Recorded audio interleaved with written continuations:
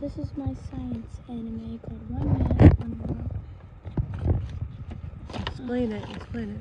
So, this guy is a scientist and he is trying to figure out how to make it, how to live forever and how to make it to the future. He's struggling on work a lot though. So, he starts making, he starts trying to make flying stuff. He starts trying to make flying stuff. As you can see, he's struggling. So, he figures it out and he makes a flying table and he goes to his refrigerator. How does this stuff. table? How does the table fly?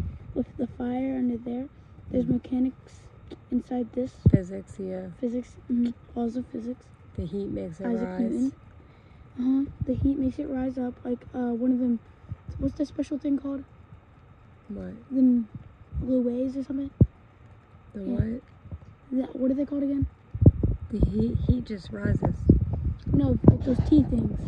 What do you mean? Those tea things. What tea thing? I think that fly. The tea things that fly. Oh. Oh, you mean the the um Asian? Yeah. I can't remember. They're like one um, Rapunzel. Mhm. What do they call it? I don't know. This is him gra- grabbing something from his fridge. I haven't made more yet, so This is to be continued.